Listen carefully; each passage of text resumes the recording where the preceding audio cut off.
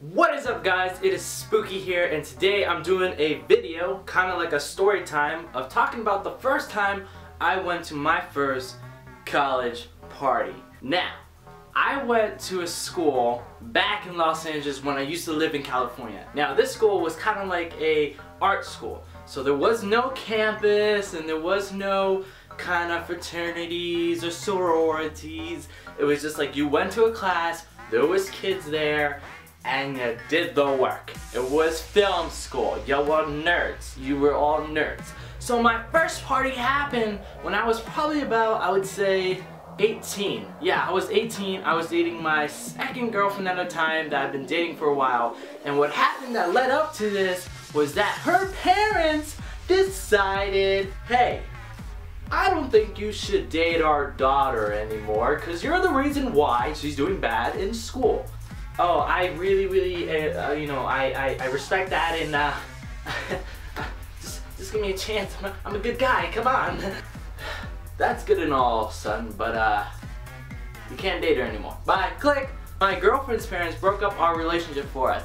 So I was really depressed, I was sad, and everything. I honestly think it was my birthday too. That No, no, no, it was a little after my birthday because my birthday was in September. And so my friend at the time who was going to film school with me, who was also American, a lot of kids in that school were not American. Just, just let you know, quick little fun fact. So she had called me and she said, hey, listen, there's a party going on. Do you want to go? Now, mind you, at the time when I was in high school, I was a kid. Mm, no to drugs, no to alcohol. Parties are for losers. College swung around and, well, the rest is kind of history. For the most part, I was a good kid. Still am a very good kid, but I've made my mistakes and I've learned from them. So I said, hey, you know what? I'm scared, but sure, let's go. So I take my Ford Ranger at the time because I was driving a pickup truck, but now I drive a really cool little fast muscle car, but that's neither here or there. So I'm driving down in downtown, it's not in downtown Burbank, but it is Burbank. I forgot what the other, Glendale, I think that's what it was, uh, back in Los Angeles. So I'm driving up to this party, I'm thinking, hey, big house, bumping party, got my hat on, you know, I'm feeling good. I got my glasses on. It's nighttime, but who really gives a shit? You know, I'm driving, driving. My friend calls me. Hey Branden, by the way, can you pick up two Mountain Dews for us? Liters? Uh, what? But yeah, so I bought two Mountain Dews, liters, I think from some like grocery store, maybe even a gas station that was around the corner. And I drive up to this mountain and basically this mountain is, uh, I forget what the apartments are called. But it was right across one of the buildings from my school. My school was split up into five different buildings amongst this Los Angeles city. And Los Angeles like districts. Okay, it's like district one, two, three, four. It's basically like the Hunger Games but like in real life. So it kind of freaking sucks. So I drive up to this hill and this hill is, is notorious for having kids that are kid actors and stuff or that are going to film school. They stay there and they live there. So I knew this, my friend had lived there. It's super expensive to live. I clock, basically there's like little gate you have to get into and I call my friend, hey, I'm here, I don't know how to get in. She's like, hey, park outside the gate and walk inside or follow somebody like a, a complete stranger and uh, try not to get arrested or die. Uh, okay. So here's the first thing. I didn't know it was an apartment, first of all. Okay, I thought we were going to like some kind of house, house party. Now, the party has turned in my head from this big, yeah, you know, getting drinks, girls, pool, slowly slipping down to an apartment. Oh, but it gets interesting. Believe me, apartment parties were very something else, man. So I get into this apartment, right? I think my friend me, met me outside. She walked me up and you have to go into these different buildings. It's kind of like a maze, so you're just kind of trying to, you're like a mouse looking for the cheese. So we eventually found the cheese, right? And as soon as, I shit you not, as soon as we got to the apartment, there's these two girls, hold up, let me, let me get my wig real quick. There's these two girls, one of them looks like this. They come rolling in in a shopping cart they got drinks in their hands, right? I don't know what the hell they were drinking or what they had in their hands, but one of them's in the shopping cart, the other one is like kind of rolling and pushing her down this hole and they're screaming, yeah, party, woo, yeah, you know, gonna get drunk, get fucked up. I'm over here, look at my bun, my bun's all messed up, I'm kinda mad about that. I'm over here and I have no clue what is going on, but these girls are looking swagalicious like they about to do some twerking and drop the whole entire earth because of that. So these girls just come out of nowhere on a shopping cart and just basically say, hey, we're here to party. I didn't know what to do. I was like, alright, maybe it might be a little poppin'. Who knows? So this big Indian guy, I, I, guess the host, just comes out. I mean, he's not big like me. He is just super freaking tall, and I'm looking at him like, hello, my Gandhi friend. you of tall. And he's like, hey, you know, and he's speaking perfectly good English. I, I, I had a different stereotypical, you know, outlook on him, but that's neither here nor there. And uh, he's basically, hey, girls brought drinks. I'm the host, my other friend's in the back, come inside. As soon as he opens the door, whoosh, the smell that I've never smelled before and never came to terms with that maybe was the smell that I smelled in high school bathrooms all the time. Weed, woo! Hookah, woo! And alcohol that's been dropped on the floor. For those of you people who do that, you are complete just, I hate you. I hate you. All these, like, it's like a, it's like, It's like walking into Vegas and literally this is the mall perfume aisle, just whoosh, and I'm just take that all in. I'm like, wow, this kind of smells like worser than like a boys gym locker room. My friend's like, don't worry about it, it's gonna be fun. You got the Mountain Dew. I'm like, yeah, I got the Mountain Dew. The guy's like, hey, you're the guy that has the drinks we're gonna be mixing, right? Yeah, I'm, I'm the guy. So I get inside, right? They start setting up drinks. I'm not drinking. I still was like, I don't want to party. I literally didn't drink anything the whole night, but let me tell you, it was fun watching people. So my friend's having a good time. She knows pretty much everybody in the room.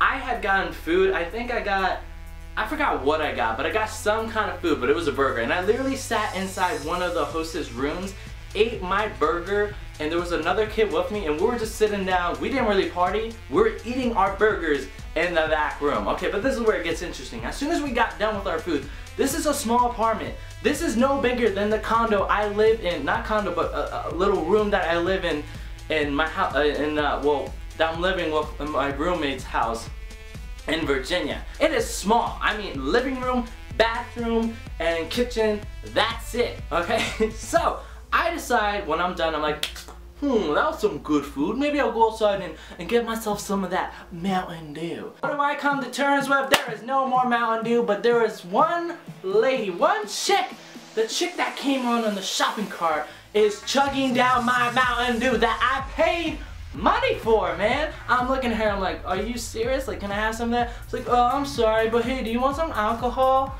No, no I don't. So I decided at this point, I'ma go take, I, am gonna go pee. You know, make, you know, I, have had a lot of water in the day, let me go pee. I go to the bathroom, guess what I see? I see these two girls making out in the bathroom. I, I'm not kidding. There's two girls and then a guy walks in there because he wants to pee too.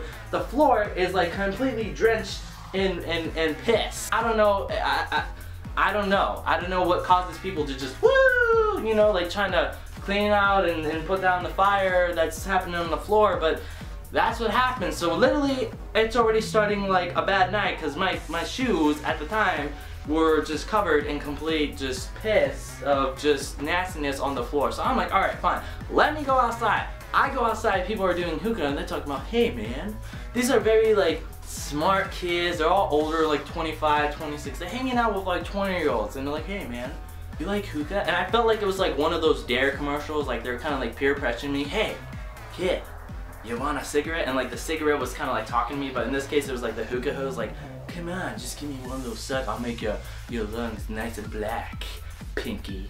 Like, nah, nah, I'm good. And then they go into the science of how hookah is developed and how it actually is worse than cigarettes and all this other stuff. And once again, I'm sitting here, I'm like, okay, uh, I'm a go.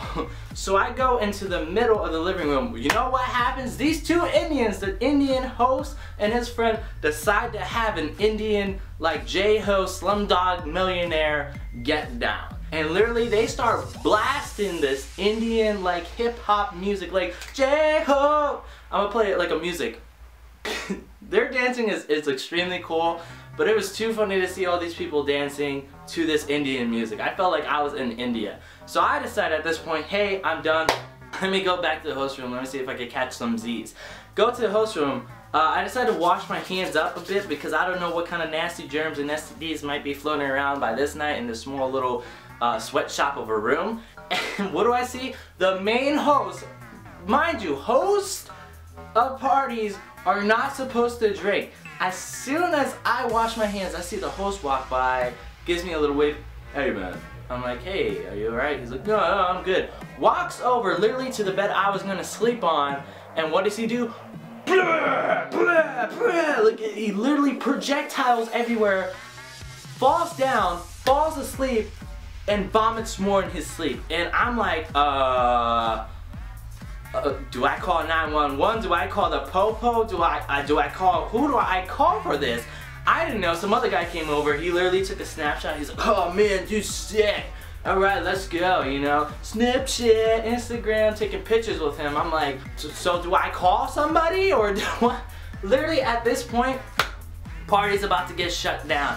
Literally no cops that came, but the reason why this party got shut down, and, and there's still more to come, like, there was the girls that I was talking about, the hoes in the beginning of the story, okay, they're twerking in, in, in, in the small room, okay, having fun, everybody's getting messed up. There was like tons of alcohol purchased, but literally I think it got spilled all over the damn floor half the time and I didn't really talk to nobody. I was one of those bystanders. This is only one, like my first party I ever went to because in high school I was a totally clean kid, didn't want to do anything.